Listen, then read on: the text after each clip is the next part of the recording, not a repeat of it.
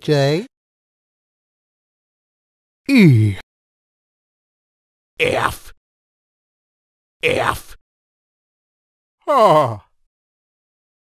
E. Why?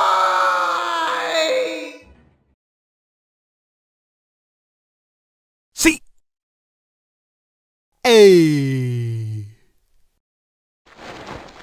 T